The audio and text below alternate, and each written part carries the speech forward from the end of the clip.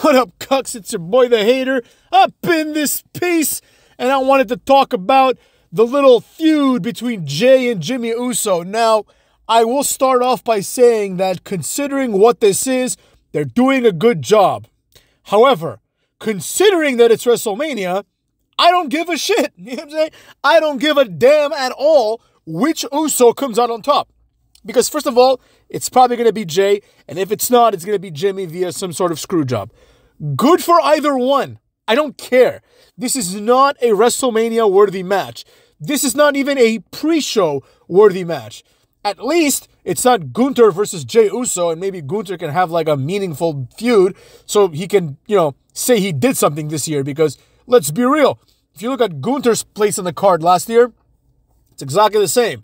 And if all indications are true, Drew McIntyre is going to win the Elimination Chamber, which, to be honest, I don't really see that happening, but I guess that's the thing that makes the most sense because he's just like too much of a jobber to win it. But whatever, it is what it is.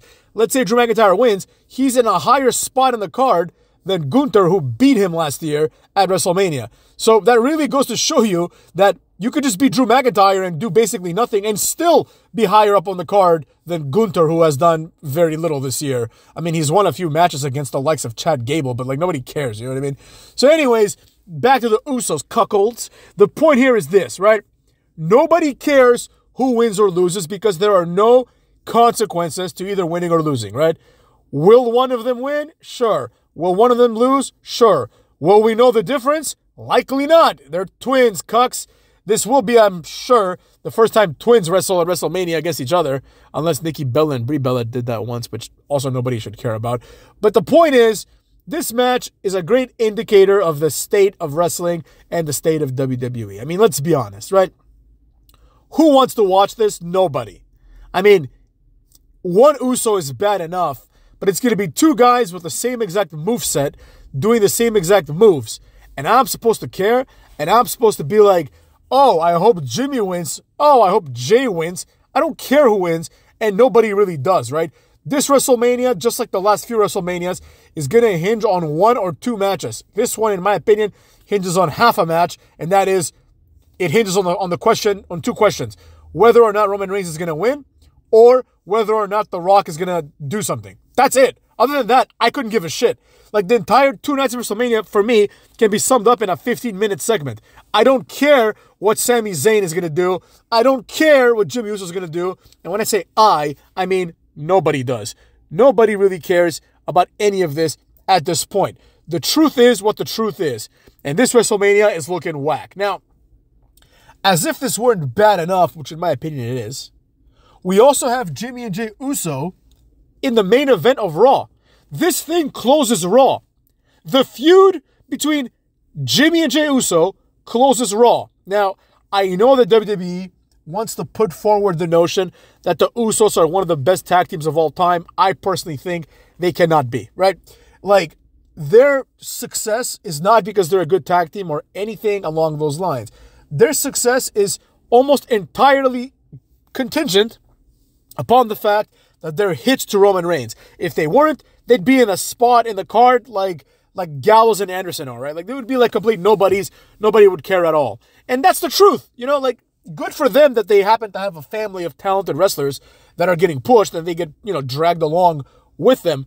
But the truth is the truth, right? We don't particularly care about either Jimmy or Jey Uso. And if anything, you know, like they can never be one of the world's best tag teams or one of the best tag teams of all times because of this drawback, right? Now, with all that being said, the question then becomes what else, if anything, do we have to look forward to at WrestleMania? I mean, personally, I think it comes down to this what role will Logan Paul play? That's pretty much it. What role, if any, will The Rock play? That's pretty much it. It's just a bunch of questions about what role people will play.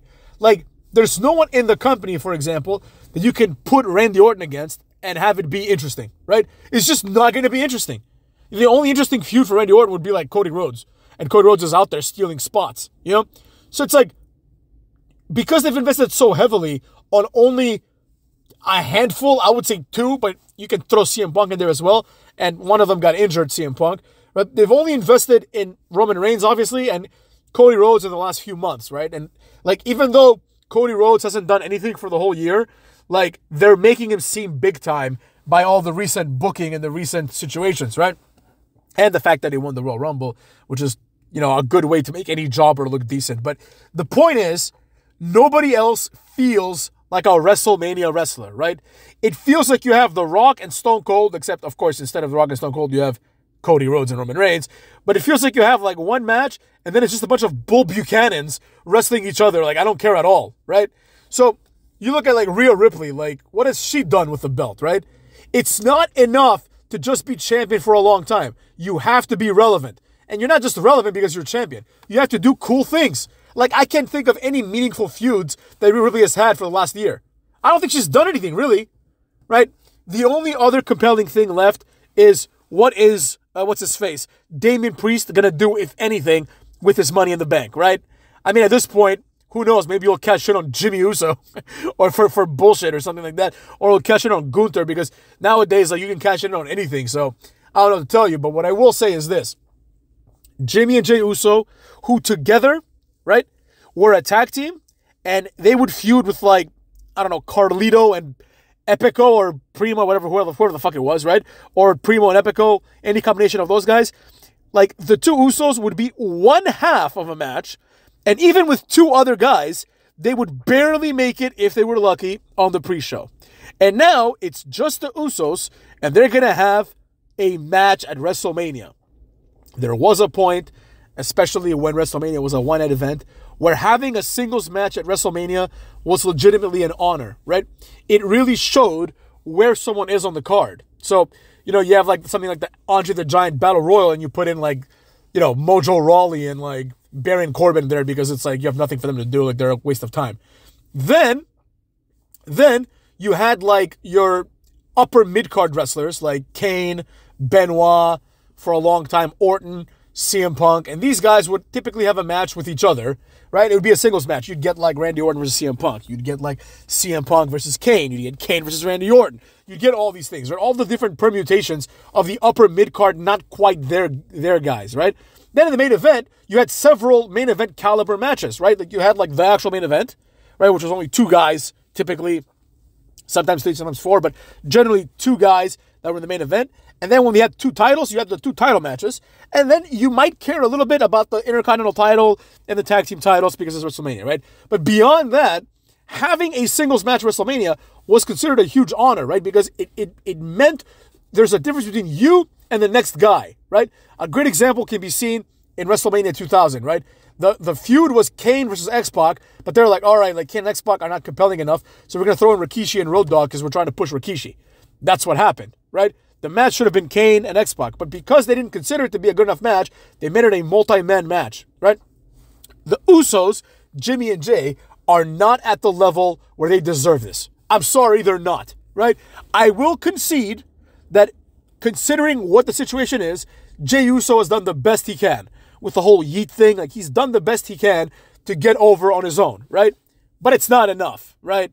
And the storyline of the brothers hit each other, you know, it's been like a year that they've been hitting each other, right? Not everything, cuckolds, has to be resolved at WrestleMania. It's okay to end a feud and a storyline at SummerSlam, right? And that's the idea that I was trying to convey, right? If you put the Usos at WrestleMania, and then in, inevitably they're going to be wrestling each other at Backlash um, in the next several pay per views, I'm sure.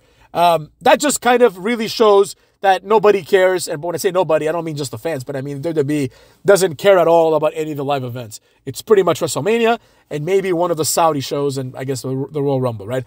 Everything else is completely ancillary. Everything else is just another episode of Raw. You know, it's another episode of Raw that's a little bit longer. That's really all it is. There's nothing that you're getting if you watch like I don't know Hell in a Cell that you wouldn't get on Raw, except I guess the Hell in a Cell match. But nowadays those matches are basically singles matches.